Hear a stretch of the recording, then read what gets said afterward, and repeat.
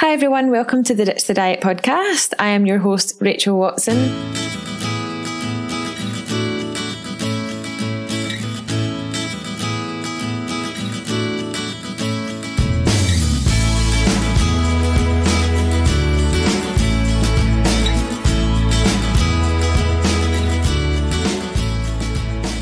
Podcast is for people all over the world who want to learn how to quit yo yo dieting and start living a healthy lifestyle without restriction. Say goodbye to food guilt and start improving your relationship with food. Um, this podcast is sponsored by the Ditch the Diet Academy, which is the membership site that I run, and it's your alternative to a lifetime of slimming clubs where we teach you the exact steps to take to learn how to quit yo yo dieting forever, improve your relationship with food, and get your body confidence back. You can check us out at ditchthedietacademy.com. Um, so, in this episode, I am talking to Dr. Rangan Chatterjee. We are talking about his brand new book, The Stress Solution. If you haven't heard of Dr. Chatterjee yet, he is a medical doctor with a specialist interest in lifestyle medicine and bringing lifestyle medicine to the forefront of his practice. He is also the author of two books, The Four Pillar Plan and his new book, The Stress Solution, which you can find on Amazon right now. And in this interview, we cover topics um, ranging from nutrition, uh, how to use food to improve your health.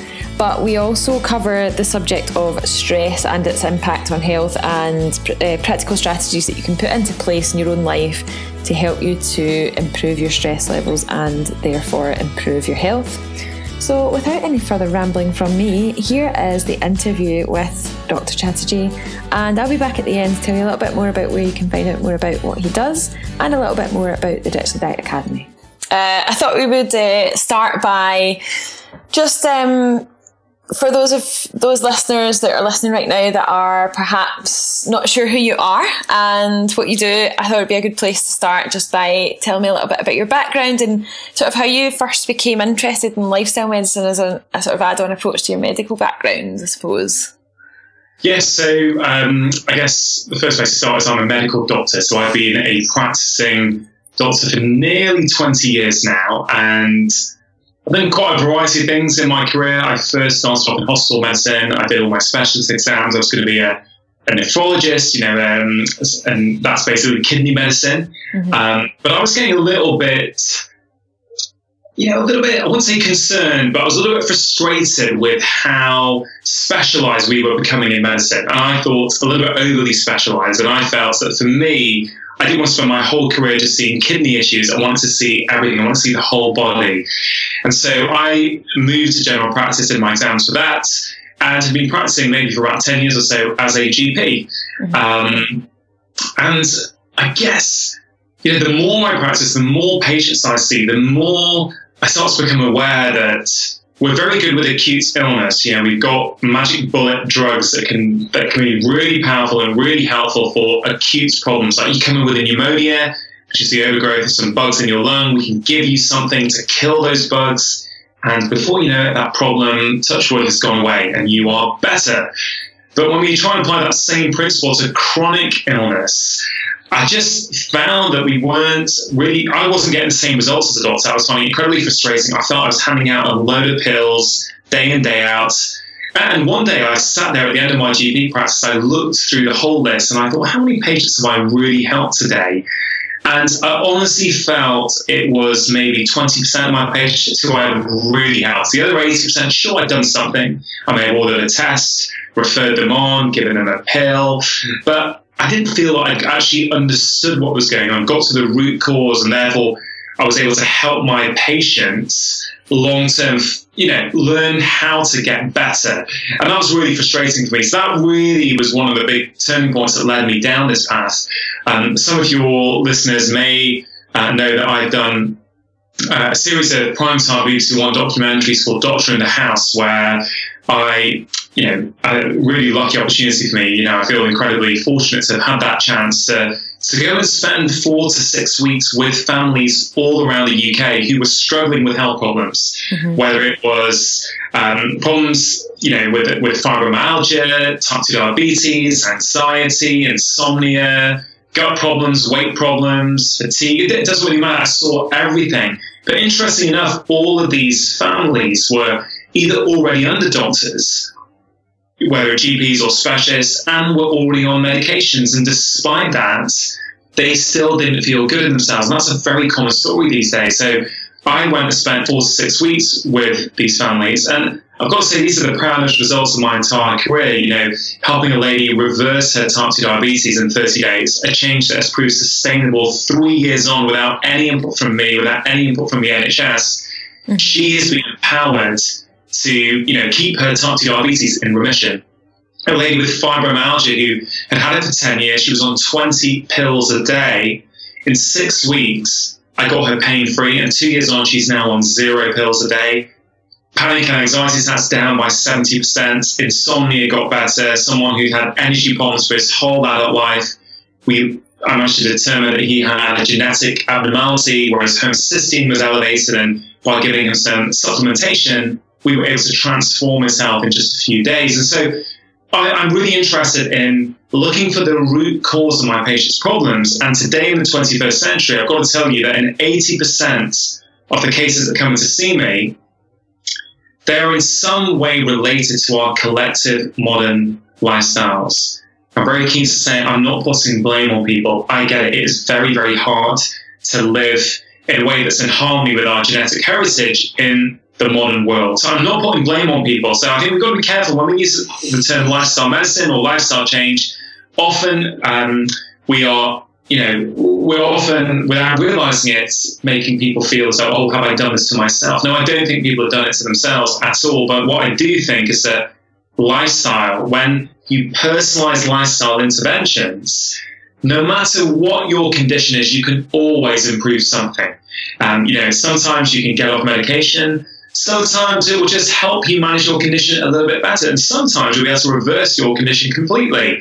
And so I think it's not about lifestyle only being, you know, a way of preventing getting ill in the future. Lifestyle can actually help us when we do get ill improve our health. Mm-hmm. I think that's it, gives people hope, doesn't it? And that um, uh, just to give you an example, I was diagnosed with anxiety, really bad anxiety, about 15 years ago as a result of gut problems that I was having. And back then, sort of 15 years ago, I felt really um, almost like I, I just have to learn to live with this now. Like, this is it. So I spent like the best part of the next decade trying to learn to live with it until I found um, stumbled across a podcast actually about five years ago, um, a nutritional therapist talking about you know, the, the power of things like the, what we eat, how we sleep, um, all of these things. It was just starting to emerge back then. Um, and I just kind of did a little bit of digging myself, changed the way I ate slightly, just gradually realized that there was just that little spark of hope there that had come back after such a long time. And I think, um, for a lot of people, listening that they they may be you know where I was 15 years ago or possibly suffering with one of the conditions that you've mentioned that may feel like I felt like this is it. Um, this is how I have to live now. I have to just learn to live with it. But that's not always the case. And I like the fact that um, the the type of the type of education that you provide for people through your books and through the, the TV series has given people hope uh, that there is you, we all need hope, and, and, thank you for sharing your story. I mean, without hope, what have we got? Because, you know, I, have reflected a lot recently over the patients that I've seen over the last, um, well, 17 and a half years, I guess now. And, you know, one of the worst things I think for a patient is when they feel that they've got no control over what happens. You know, they've been struck down by a condition, and the doctor says, there's nothing you can do, you have to take this medication, that's the way it is. And I just think, it's no way to live for for anyone. It's, it's really um, it's really debilitating. It's really really demoralising for anyone. And one one thing I always try and provide for any one of my patients, I, I, try and provide hope and a bit of inspiration. Say, hey, look, you can make the smallest change in the world, actually, and you may not think that's going to do much, but it really, it really can do. Let me help you. Let me figure out in your lifestyle what can you do in your lifestyle. And this is where I like to move away from generic public health advice, which of course has has a role to play. But I see an example. You know, a few years ago, I remember telling a patient in my uh, practice, I was reading all the latest research on the importance of lean muscle mass and how once we get past the age of 30, if we're sedentary, we lose a significant amount of lean muscle mass every year. Mm-hmm. And lean muscle mass is critical for our well being as we age. In fact, it's probably one of the most powerful predictors of how well you're going to be as you get older. Yet when we talk about exercise, everyone's talking about walking, which is great. Everyone's talking about cardio, again, which is great. But we're not really talking about strength training. Mm-hmm. And I thought, I saw a patient, a young guy, and I thought, hey, you know, what, this is really relevant for you. And I said to him, you know, it's really important you focus on lean muscle mass. It'll help you with your blood sugar. It'll help you with your your weight. It'll help you with your energy and concentration. Because what, dog, what, like 30, 40 minutes, three times a week? I said, that'd be great if you can do that. Yeah. And he said, okay, I'm going to go and join the gym. Mm-hmm. Came out four weeks later. And what was really interesting is I said, how are you getting on? And he said, ah, dog, you know, life's been busy, work's been stressful, the gym's not nearby, it's actually quite a lot of money, I've not really done any of it. Mm-hmm. And and in that moment, I, I didn't think, why has he not done what I've asked him to do? I never think about it, actually. I thought, okay, I've clearly not given him advice that he feels is relevant in the context of his life. And in that moment, I created something called a five minute kitchen workout, which I sort of showed on the Doctor of the House series. It was in my first book, The Four Pillar Plan, and people love it because I took my jacket off in the consultation room. I said, right, okay, let me just teach you a strength training workout right here, right now. And you know what what's so great about it is that you don't need to get changed, you don't need to join a gym, you don't need to buy any equipment. And what's really interesting is I said to him, look, can you give me five minutes twice a week to do this workout in the kitchen? So what is that all? So yeah, just five minutes twice a week. And so he goes away, I teach him it, uh, and he does it. He comes up four weeks later, I say, how are you getting on? And he said, oh, I love it, absolutely love it. I started off doing it five minutes twice a week. Now I do it for about 10 minutes every single day. so my strategy for engaging people in behavior change is to try and find something that they feel is achievable keep the bar really low so that they can achieve it. And then, you know, we like ticking boxes as humans. We like feeling that we've achieved what we've set out to do. So by completing his five minutes twice a week, he felt motivated enough to keep doing it all the time. Mm-hmm. And that's what I do. Well, when I talk to my patients about meditation, I say, okay, you, you can't find 10, 15 minutes a day. Fine. Can you do two minutes? All right. Make a commitment. You're going to do two minutes every day at the same time. And you know what happens? Those two minutes after a week, they become five minutes and they become 10 minutes. And before you know it, you've created a new habit. Mm-hmm. Yeah, you know, you started off really small. And I think, particularly, know, particularly in January, you know, everyone's looking for that, that savior, that new diet that somehow is going to work this year in a way that it never worked before. And, you know, I understand why these things are in such high demand because there's a lot of people out there who aren't feeling great, who are feeling sick, who do want help with their health. So they're looking for that quick fix. But you know what? There ain't a quick fix. It's about making small changes consistently, and it really does build up to the to the big health outcomes in the long term. That's it exactly, and I think especially around the January around January time, not just January, but in particular, um, it's the sort of overhaul uh, process that a lot of people go through, and it's like right, I'm, I'm going to overhaul absolutely everything all at the same time, only to become disheartened, you know, a couple of weeks down the line when it all sort of comes crashing down again. Um, and yeah. I love the I love the idea of uh, the thought process of you know don't don't start with the big overhaul. Start with the little tiny things that are going to add up over the course of maybe twelve months, two years, three years. But it's it is hard to get into that way of thinking. I think when you are um, at that stage where you're really desperate to feel better, um, to try and break it down into those small steps can be quite, uh, quite a hard thing to get your head around, especially in this instant gratification sort of world that we live in, where everything's at the, the sort of click of a finger these days. Um, uh, you, you, I think you've hit on the head there. We, are living in a world, aren't we, where we're so used to getting everything we want when we want it. You know, mm. even, even if you want to buy anything now, you can literally go on your computer, go on Amazon, and it'll be with you the following morning. We've never, I don't think in human evolution, ever been able to acquire things with such ease. Mm. And it's funny, I, I spoke to my cousin the other day who's in his mid 20s, and he said to me, Rangan, yeah, I think. I think I've got really impatient now. You know, I expect everything to be done, and I get really frustrated if something doesn't arrive when when it's meant to arrive. And I think, wow, you know, before Amazon, we never had that you know, it's just crazy. We never would even expect things to be there the following day. Uh, but it's, uh, and so I think why would we not expect the same with our health? Because, um, you know, I guess in many ways it's just a reflection of culture. Um, but, I, but I do believe actually that the small changes can make you feel good in the short term as well as the long term. I think the mm-hmm. small changes, though, are much more likely to be still helping you in six months' time, in 12 months' time, in 18 months' time.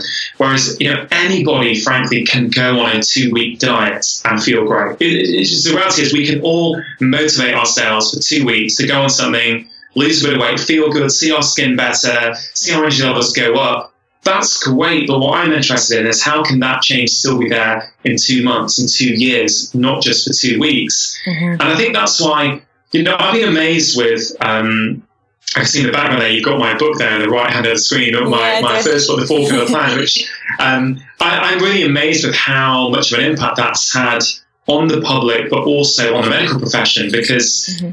you know, I just set out what I thought was a really simplified template to help people gain control over their lives by not overly focusing in one area by saying, hey, you know what, my diet might be good enough. Maybe I don't need to worry about the extra 5 10% that where I could improve my diet, maybe I'm better off focusing on going to bed one hour early each night. You know, really trying to take this rounded approach.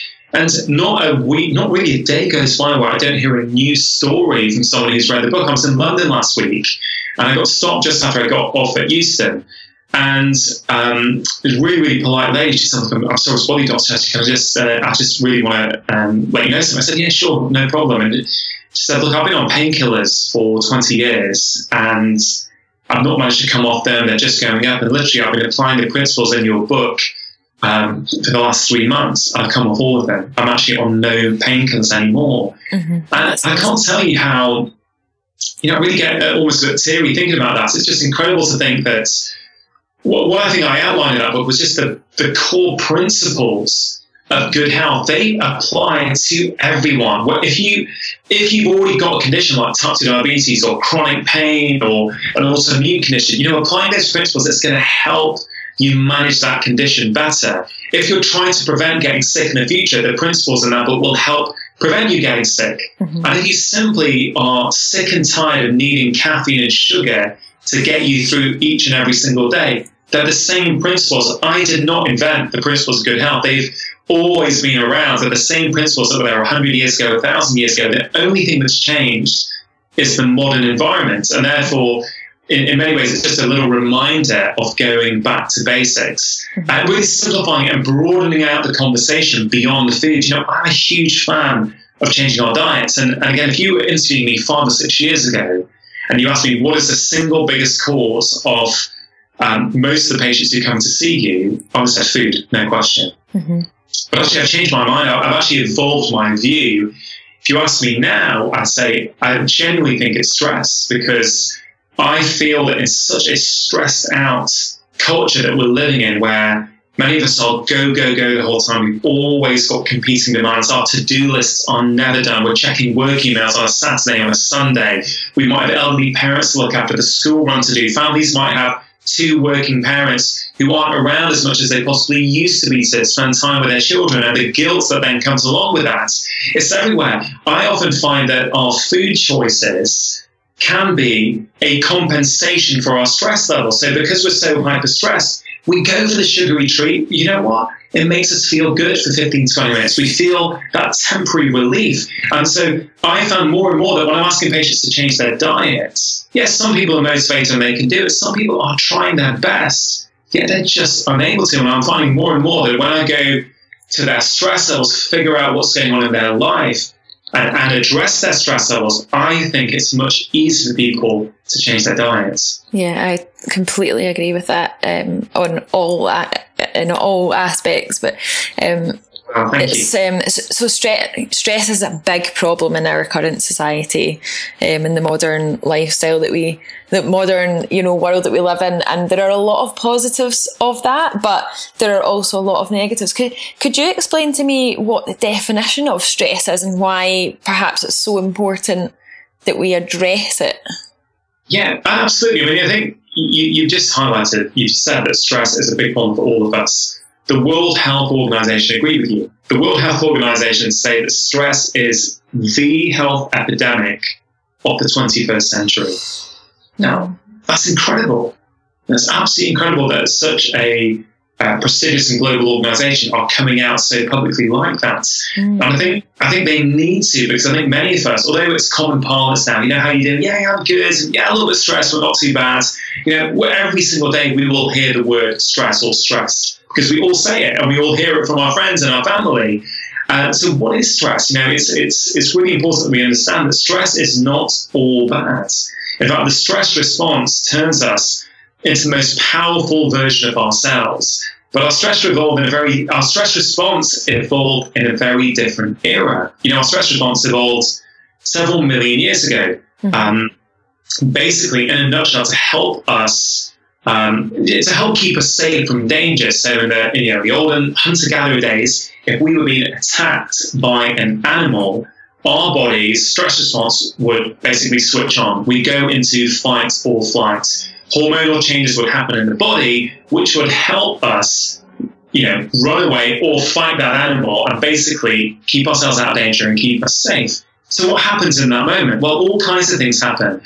Um, sugar gets chucked into our bloodstream, which is a great thing because it means we can run faster. Mm-hmm. Our mental alertness goes up, so we're more, um, we're more, you know, our awareness is heightened for any other threat that might be around us. Um, you know, we shut off processes that actually our body deems non-essential in that moment. So things like libido. You know, if you're running away from a tiger, you don't need to be able to chill out and actually procreate with your partner. You, you know, that's that's an unnecessary process. Your digestion in that moment is an unnecessary process. So there's a whole series of biological processes that kick into gear when we're stressed, and they actually help us in the short term. But they can be harmful in the long term. And that's the key. So we just take those few examples I, I used. Sugar comes pouring into your bloodstream, which helps you run away. That's fine if it's going on for 30 minutes or an hour or two to get you away from danger. But if you're getting stressed out day in, day out, that same process is happening. So that sugar that's coming into your bloodstream all of a sudden has negative consequences. It means you'll have low energy, you'll put on weight, you'll probably develop high blood pressure and ultimately you'll develop type 2 diabetes because your stress response has not been switched off. Mm-hmm. So, you know, in the short term, a little bit of stress helps us think clearly. So, if you've got a presentation to do, you're, you're speaking uh, live on stage somewhere, if you've got an exam, that stress helps us think clearly. That's brilliant. In the long term, that increased stress response, those increased cortisol levels. Cortisol is one of the body's primary stress response hormones that starts to damage your hippocampus, which is the memory center of the brain. So in the short term, it helps your brain. In the long term, that stress kills nerve cells in your brain, which is why, uh, which is a linked to getting Alzheimer's in later age, but it's also one of the reasons why we're seeing so many people, particularly at a younger age, just having issues with concentration and memory because we are overloaded the whole time and our stress response is not switching off. Talk about libido. Mm-hmm. Libido is, you know, lack of libido is on the rise. I see that pretty much every day as a GP. Someone's coming complaining for lack of libido. Mm-hmm. Once you understand the stress response, you understand that actually um, the precursor to all hormones in the body, or most hormones, is something called LDL cholesterol. And that LDL cholesterol can really follow you know, this is really oversimplifying things, but can kind of follow two paths. One path makes cortisol, the other path makes things like estrogen, testosterone, and what we call the sex steroid hormones. Mm-hmm. So, why is that important? If you're not stressed, that LDL cholesterol gets beautifully partitioned off to cortisol and estrogen and testosterone in the correct amounts. If you're stressed all the time, basically most of the resource in your body goes to making cortisol, which means there's less left to make testosterone, to make estrogen. So over time, things like your libido goes down, you have hormonal problems. Now, in medicine, we will treat those things with hormones. Of course, that has value, but that's a downstream treatment. I don't mind that, but I say also, I want to tell the patient, hey, look, but in the long term, we need to address your stress levels because then if we do, actually the hormones are going to take care of themselves. And so for me, you know, as a doctor, I see problems every day in my surgery, low energy, insomnia, anxiety, a lack of focus, lack of libido, gut problems like IBS, type 2 diabetes, insomnia, high blood pressure. All of these seem a little bit different. They seem seemingly unrelated, but all of them, every single one of them at their root cause has stress as a key, key driver.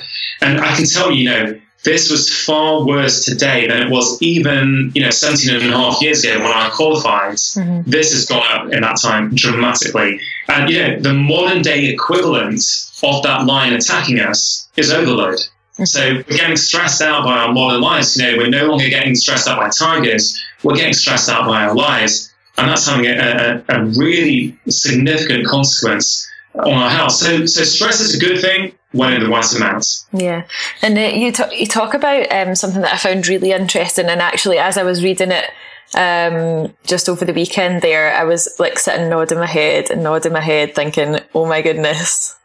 I got to do something about this. And that was um, micro stress doses. I found this really interesting.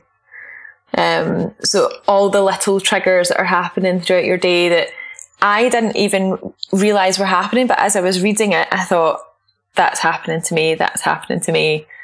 And yeah, it was like someone had just switched on a light bulb in my head and I thought, oh, I need to discuss yes. this with you. Um, so what are what are micro stress doses?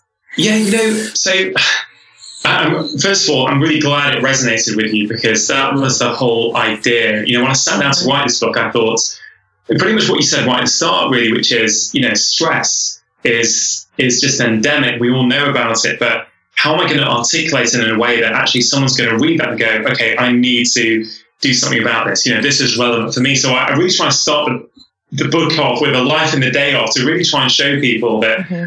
you know, how how prevalent stress is in every aspect of our lives. And so, you know, the, you know, I've also got to be aware that there are some really significant traumatic stress episodes that can happen in our life. Um, and I really want to make a differentiation. So I, I, came up with this concept of micro stress doses and macro stress doses. So micro stress doses, for example, might be something really traumatic. You know, it could be abuse as a child. It could be you were you know, adopted. You had a broken home.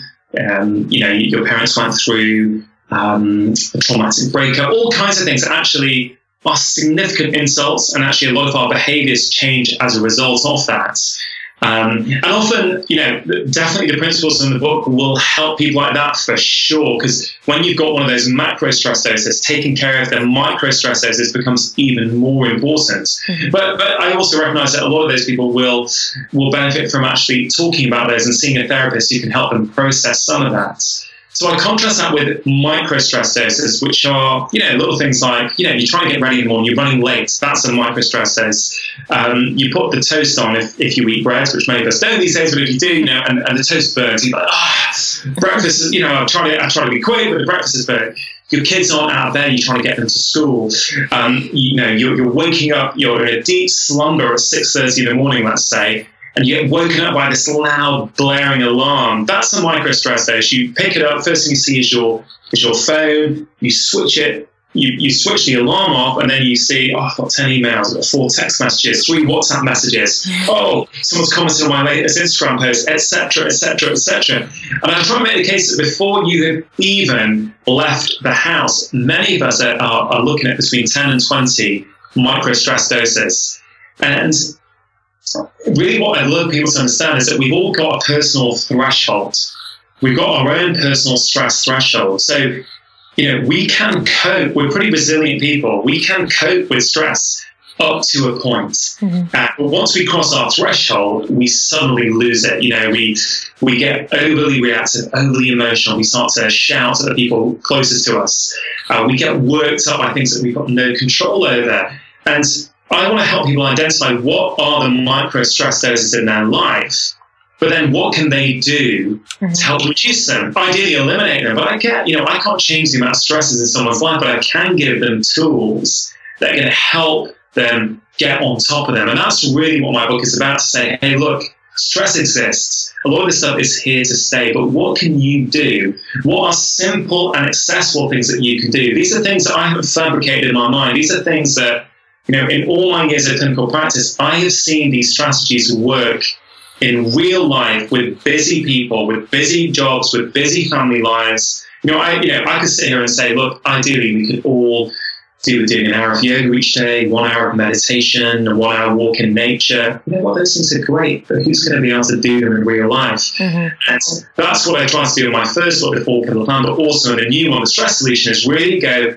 these are achievable things that you can do. And also try and shed a light on some areas that people may not have thought of when they think about stress. Most people think about emotional stress, mm-hmm. but there are many other things in the modern world that are a source of stress as well. Yeah, that's what I was actually going to ask you about next. So when we when we're actually talking about the word stress and feeling stressed, it's not just about that feeling of I feel stressed, as in I feel uh, possibly a bit worked up, panicky, heart's racing. That's not just what stress actually means and what stress actually is. There are lots of other different things that are contributing to the stress that our body is under, such as, you know, things like environmental stress, nutritional stress, um, relationship stress, but, you know, lots of, lots of little things that all add up. Um, would you agree yeah, with that? yeah, absolutely. I think you hit the nail on the head. There are emotional stress is just, you know, when, you've, you've got you're overloaded, it's just one source of stress. The food that we eat can be a huge source of stress on the body. A lack of sleep can be a huge source of stress on the body. You know, when you don't sleep, you know, you, you have problems with memory, attention, cognitive function, your ability to make decisions, your ability to learn things. And that is a huge stress on the body. You know, what's really interesting about sleep actually is there is a part of our brain called the amygdala. And this is really important because it's our emotional brain. So, you know, when, you know, many of us know this feeling when we're quite stressed, we, we get overly reactive to certain things. Something that wouldn't normally stress us out suddenly becomes a big deal and a big problem, and we just escalate and it becomes bigger and bigger. And basically, when you haven't slept, uh, I can't. I think it's when you slept six hours as opposed to eight hours. Your amygdala is about twenty five percent more reactive than it would have been. And that's incredible. That's your emotional brain being, you know, 25%, a quarter more reactive just from not sleeping enough. I think we all know that intuitively, you know, when we've woken up and we haven't slept particularly well or for particularly long, you know, what are your relationships like with your partner, with your children, with your work colleagues? You know, how grounded do you feel? What food do you want to eat when you're not slept well? Mm-hmm. You know, sleep deprivation changes your hormones so you feel more hungry and you feel less full. That's hormones leptin and ghrelin. They, they get flipped. So, you know, it's impossible, well, it's very challenging to make those healthy food choices when you haven't slept. So, not only is the lack of sleep a stress on the body, the subsequent lifestyle and food choices you make because you've not slept are also a huge source of stress on the body. Um, so, you know, body, I, I split up, like I did in the Four Pillar Plan, the first book, in this one, I try and split up stress into four key areas just to really, I'm always trying to simplify messaging so that you know people can understand, you know, not in a patronizing way, but really just in a, in a way to say, oh, I get it, you know, it's these are the four what I call stress superhighways in the modern world. Mm-hmm. Um, so one of them is body, which is, you know, food, sleep, circadian rhythms, and how um, being stressed can impact those things, but also when you're not adopting the best food choices, the best sleep uh, hygiene, um, those things can also cause more stress. But there's another pillar. There, there, well, there, there's four pillars. One, one of them is, as I said, is body. Another one is relationships. So I feel that you know, for many of us, we need to reprioritize our relationships as as, as the world is getting busier and busier, and we're supposedly more connected than ever before. I'm seeing a lot of loneliness in my practice. We know loneliness is, is on the rise. It's, it's an epidemic proportions now. And it's not just the elderly who are lonely living by themselves. You know, the, one of the biggest, one of the fastest rising groups of loneliness are men between the age of 30 and 40. Mm-hmm. You know, so we've got a lot of young people these days who are feeling hyper connected digitally, but on a, on a human sense, on real deep, meaningful human connection. We've never been this lonely. So you know, I, I talk about the importance of human touch and how actually touch is as important for our bodies and our brains as food is. And that's quite quite a radical statement to make, but there's a whole chapter on touch in my new book. Mm-hmm. And I spoke to one of the leading uh, global researchers on human touch, Professor Francis McGlone from Liverpool John Moores University. And his research is incredible. We have got on our skin, we have got a special type of touch nerve fiber. It's called the C tactile afferent. The name doesn't matter, but what's really, really important about this is that it is maximally stimulated at a rate of three to five centimeters per second. Now, of course, you know, if you were to touch someone, I was to touch someone, you know, we're not going to measure our speed. This is the speed that a mother will intuitively stroke a baby at. Mm-hmm. Right? So this is hardwired within us. And those nerve fibers go from our skin all the way up to our brain, to our emotional brain. And when we stimulate those touch nerve fibers, our cortisol levels, which are our, which is one of the primary stress response hormones in the body, they go down.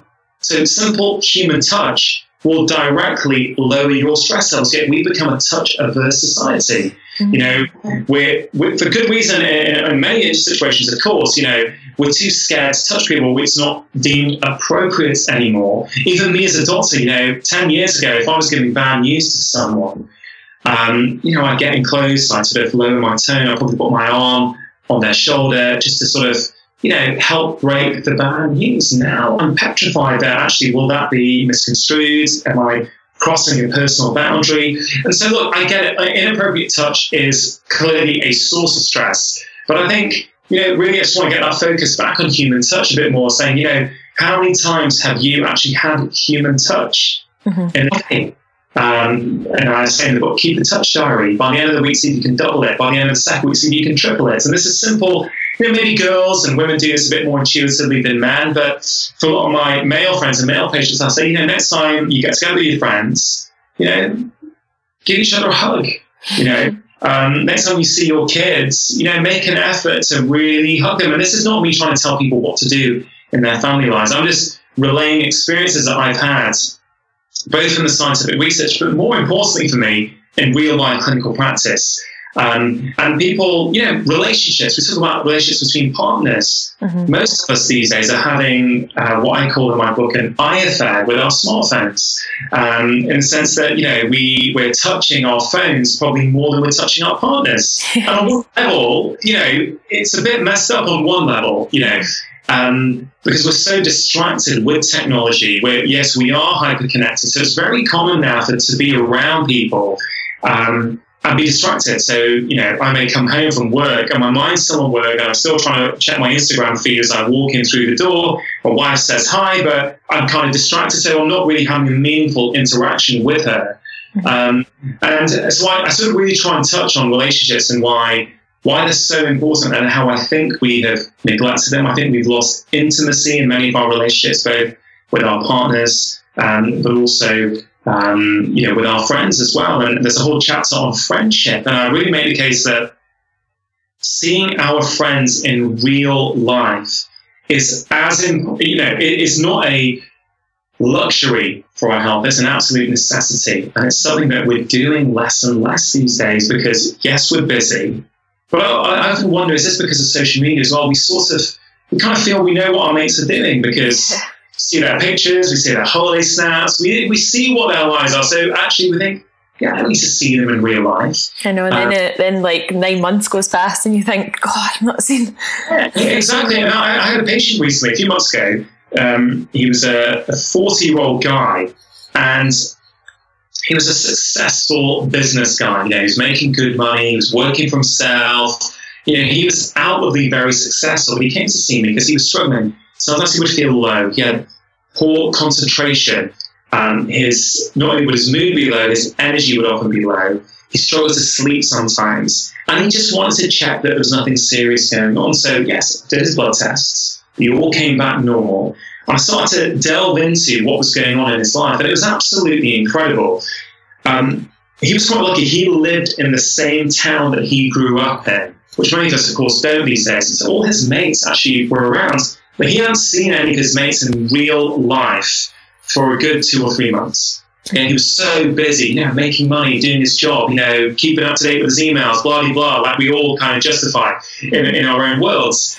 I said to him, look, um, there's nothing seriously wrong from the blood tests, but I think, I think, you know, all I'd love you to do for the next, two, the next sort of four to six weeks or so is once a week, I want you to see your friends um, in some setting. It doesn't matter what it is, even if it's just for 10 minutes, see them and put your phone off when you're there, really be present in those interactions. And again, you might be thinking, what's a doctor giving this kind of advice? What's that got to do with medicine? But he went away. He came back a few weeks later, like a like a different man. I said, what did you do? He said, well, sometimes we'd go and play five-a-side. Sometimes it would just be we'd go down to the local cafe on a Sunday morning and catch up over a latte for half an hour, just chew the fat. Mm-hmm. But it didn't matter what it was. They just got together in person each week and he came back and said, I'm like a different person. My mood's better, my energy's come up, I'm concentrating more at work, I'm more productive at work, and I'm sleeping better. And let's think about that. These are, he came in with symptoms that I could have easily medicated. I could easily have said, you know, this is a medical problem. But these were symptoms were a symptom of his lifestyle, mm-hmm. of his stress levels, by the fact that he wasn't prioritizing and nurturing his friendship. So I think, you know, anybody listening to this podcast at the moment who feels that might apply to them, I challenge them, you guys, to literally, you know, pick up your phone, text someone right now, send them an email, even better, call them and put a date in the diary to see one of your friends in person. It's one of the fastest and best ways to lower your stress levels. And, it, you know, for me, as a I, I realize as my career has got busier and busier over the last three or four years, particularly as I started appearing in the media lots, um, I've realized that I've actually, without realizing it, I've under prioritized hmm. my friendships, my really good friendships. And look, my best mates from university, we all live hundreds of miles away from each other. Mm-hmm. But we have um, made a vow that twice a year we're going to get together for a golf weekend. Mm-hmm. And it's not the golf, actually. You know, that's just the glue that gets us there. Yeah.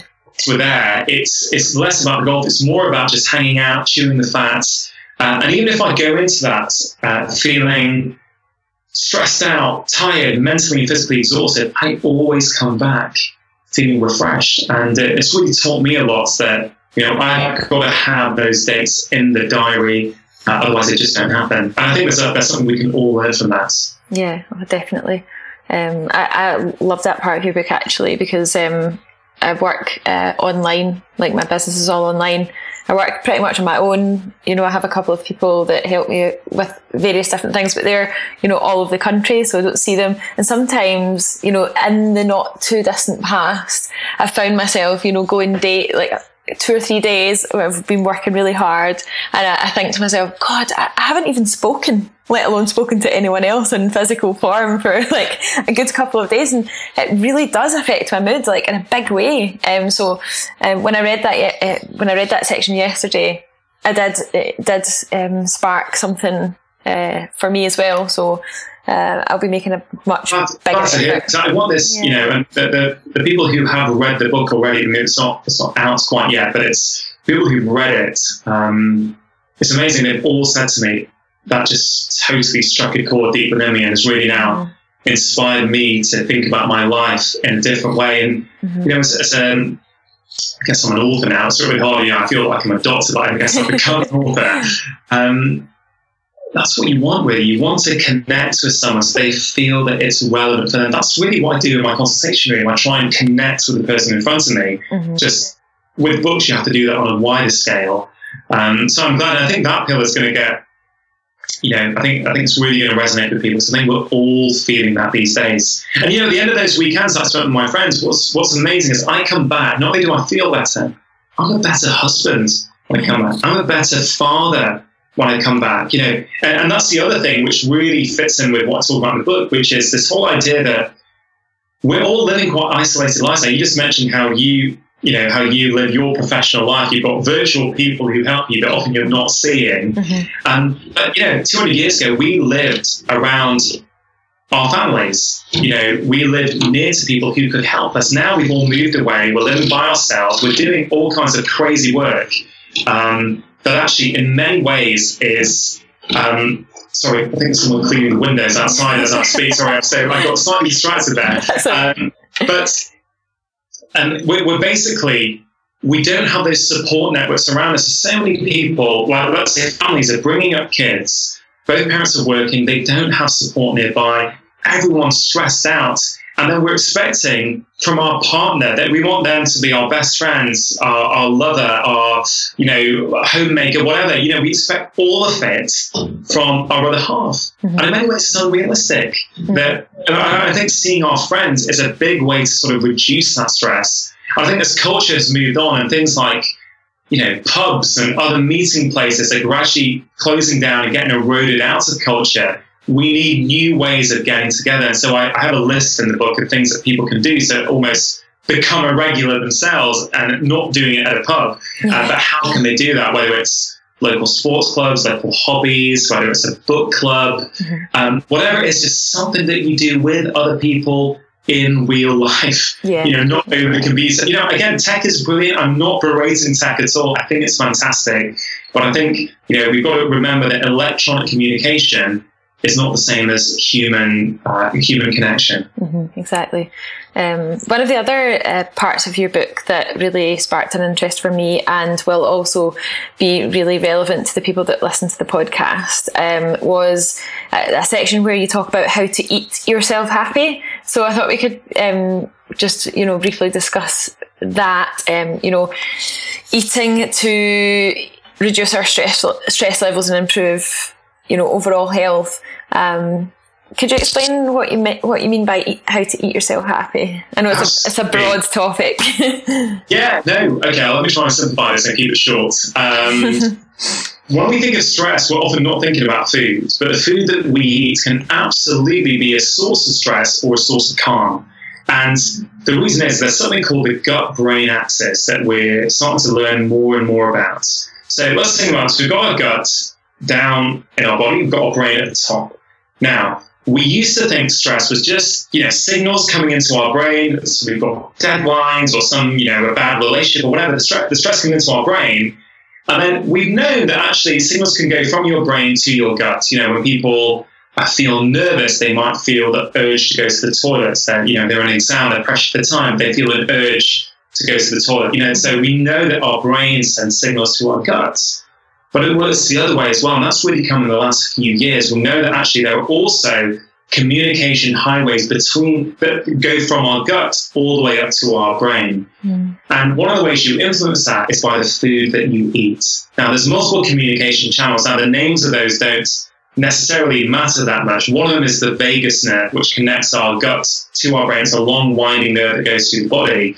And we know that if you eat the right kinds of foods, you basically make something called short chain fatty acids. Basically, um, your gut bugs, there are trillions of gut bugs that live inside us. It's called the, the gut microbiota. And when we talk about them in conjunction with their genes, we call it the gut microbiome. Mm-hmm. Now, you know, there's all the rage these days is to talk about a healthy gut and, you know, are you feeding the right food for your gut's bugs? But what does that really mean? Well, some scientists are calling our gut bugs our brain's peacekeepers because you keep your gut bugs happy, they will also keep your brain happy. It's really quite incredible. And it's, it's basically about how can we eat in a way that's going to promote the growth of good, strong, robust, healthy gut bugs, which in turn is going to send signals via multiple communication channels, including the vagus nerve, up to your brain to tell your brain, hey, everything's good, everything's calm.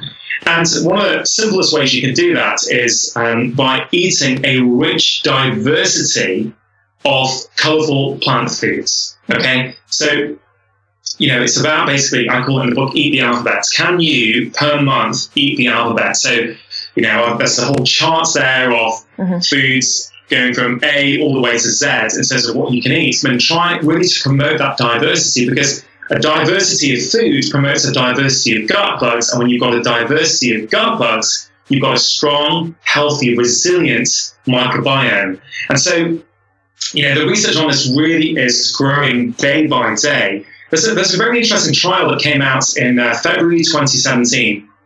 Well, excuse me, just got a bit dry there, I'm in the water. Um, it's called the SMILES trial, S M I L E S. And it only had 67 people in it, but it was a randomized controlled trial. These are called the gold standard trials. And there was a group of patients with moderate to severe depression. They were already diagnosed, they were already under treatment. Now, one group was put on a modified Mediterranean diet um, with dietitian support. The other group, what was called the control group, had what's called social support. Mm-hmm. After 12 weeks, the group who changed their diet had a statistically significant remission rate from their depression. Remission.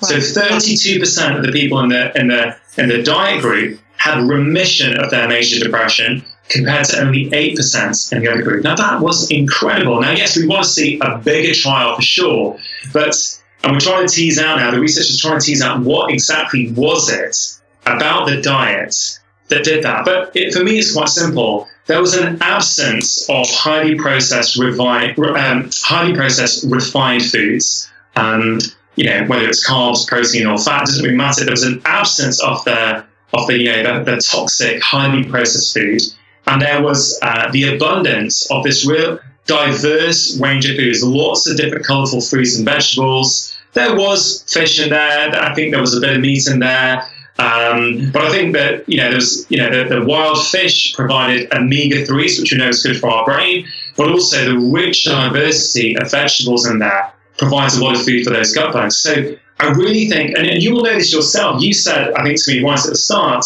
you know, suffering from anxiety. When you change your diet, you started to see a big improvement. Huge improvement. Yeah. Really yeah, quickly as well yeah, people aren't thinking about this. You know, when, when people go to see their doctor with anxiety, more often than not, I'm afraid, the doctor's not talking to them about their diet. And that's one component that absolutely needs to be spoken about. In the context of this, on my Doctor in the House second series at Front House on BBC One, and again, it's still available on YouTube if you look for it, you will find this episode. Mm-hmm. There was a lady who had severe panic attacks. It was impacting her work life, her social life, her personal life and she had tried antidepressants. She had tried to see counselors before, but nothing had worked. What we did, what I did with this, I took out a couple of things that were toxic and damaging her gut bugs, mm-hmm. and then we moved her diet to being a whole food, unprocessed diet. She had, you know, meat, fish, nuts, seeds, uh, fruit, vegetables, and no ready meals. It was all, um, you know, minimally processed, mostly home cooked meals. And again, that can be difficult for some people, but she got a 70% reduction in her panic attacks from in, in about six weeks. Mm. She'd been under doctors for 15 years. And I thought this is absolutely incredible. The food we eat absolutely impacts our brain. Now, here's, here's, the, here's the another matter for me also. That lady had had quite um, uh, a traumatic incident happened to her when she was 18 years old, mm-hmm. which, which everything's, you know, everything started to go wrong from there. But what's interesting is that by changing her diet and her lifestyle, she got a huge improvement in her panic attacks. And now, and then she is able to engage with some psychological therapies to kind of address some of that underlying trauma. It's not either or. You know, very few conditions particularly mental health problems, have just got one cause. Mm. There are multiple factors going on, and you know, diet and lifestyle is a huge part of them. So we absolutely need to be addressing that with all of our mental health patients. Yeah. Yeah. Sorry, it's a bit of a rant there, but I feel really no, passionate about no, this. I do as well. Um, just from personal experience, like, um, from the, like the, changing my diet was like, oh, it just I couldn't believe that I tried so many different antidepressants, anti-anxiety drugs, um, all sorts of different things and felt like, okay, this is it. Um, and then just discovered a podcast episode, totally random, can't even remember. It was one of those ones that, you know, was suggested after you listened to another one and I thought, I'll just let it run on. And it, if I hadn't listened to that podcast episode, I do not know where I would be now. And that's why, you know, one of the reasons why I started this podcast, um, just over a year ago uh, was that you know so hopefully uh, someone even if it's just one person that listens to this episode and thinks you know that might be the missing part of the puzzle for me then it's absolutely worth getting this information out there good on you absolutely um, it really is um, so i thought we could uh, finish up by uh, just giving our listeners maybe one or two practical tips that they could put into place right now today to help reduce stress in their day to day life, perhaps they can implement it straight away? Yeah, absolutely, sure. Well, if you take a day from start to finish, let's say that one of, one of my top tips is to protect the first part of your day, even if it's just for five minutes or 10 minutes, just protect first part of your day. Otherwise, you go into stress mode straight away. So just have a quiet time, maybe put your phone on airplane mode, listen to a meditation app for 10 minutes, just do some deep breathing, something to start you off in the right frame of mind. I think that's incredibly powerful for many, many people. Mm-hmm. I think uh, at lunchtime, prioritize getting outside and having 15 minutes to yourself without a phone. I think that can be incredibly stress reducing for many of us. Just going, having a bit of time to ourselves. You could go to a cafe, sit there, have your favorite hot drink, but just sit there. Don't be catching up on your emails and social media at the same time. Just be present. People watch. Have a bit of downtime. And I think the final tip I'd probably say is at the end of the day, and obviously not everyone works and then comes home at the end of the day, but you know, just as a general rule, I'd say um, try and have some meaningful connection time with those people close to you. If you're lucky enough to live with someone else or a family, put your phone away and make sure at least 20, 30 minutes of that interaction time is when you're mindful and present. And if you live by yourself, maybe phone a friend in the evening or arrange to meet up. And it's these small things that add up to big changes very, very quickly. Yeah, totally. Uh, amazing. Thank you so much for your time. Before we go, um, where this episode is going out in January. So, um, for those for listeners that would like to be able to find out more about the book, the stress solution, or uh, anything else that you do, what, where's the best place to go? Yeah, so I'm very active on social media. I guess Facebook and Instagram are probably the two best places. It's at Dr. Chatterjee, which is D R C H A T T E R J E E. Twitter, which I find quite an angry place these days, is at Dr. Chatterjee UK, but I am there as well. Yeah. Um, if you want to find out more about the book, it's available uh, in all the shops now on Amazon. But there's a, there's a bit on my website, drchatterjee.com forward slash book, where you can read a bit of a summary and see if it's something that you feel might be relevant for you or, or, your friends or your family. So those are probably the best ways uh, of staying in touch with me and finding out what I'm up to. I also, like you, have got a, uh, a podcast called Feel Better, Live More. Mm-hmm. Um, and like you, I'm trying to inspire people each week with interesting conversations so that they can uh, take control of their health. So yeah, any one of those ways would be great. That's great. I'll make sure that all the links to everything are in the show notes. So if you're listening, you can just scroll down on whichever device you're listening to, and there'll be links there that you can click. But um, just, I guess all that's left to say is thank you so much for joining me. I really appreciate your time. I'm sure you're extremely busy. Hey, we all are these days. So, no, look, yeah. thank you for inviting me, and I very much appreciate uh, the opportunity to come and talk to all your listeners. Thank you.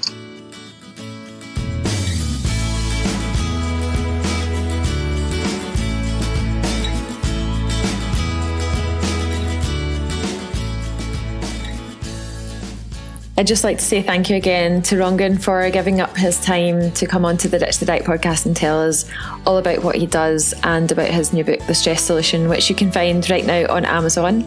I'll put the link in the show notes. So it's January, you're probably thinking about going back to the diet club or the slimming club that you went to last year and the year before that and the year before that. And I would like to give you an alternative to that this year, um, and that is by means of the Ditch the Diet Academy. The Ditch the Diet Academy was something that I created to show you how to improve your relationship with food, quit dieting, lose weight forever, and get your body confidence back. It's a step by step guide um, we have courses in there, community, accountability, motivation. We have a recipe database, meal planning system, and a weight tracker, and everything is under the one roof. If you would like an alternative to slumming clubs this year, and if you would like to make some sustainable progress that doesn't require restriction or guilt around food, then you need to check out the Ditch the Diet Academy. And you can do so by going to www.ditchthedietacademy.com and clicking on the Academy tab. I'll also put the link in the show notes so that you can go directly to find out more about it. We would love to welcome you as a member this January, and I hope you will join us as an alternative to going back to your old slimming club that has not served you in the past. So let us take control for you and help you quit dieting forever. I hope to see you there. And if not, I'll see you in next week's podcast episode. Thanks for listening.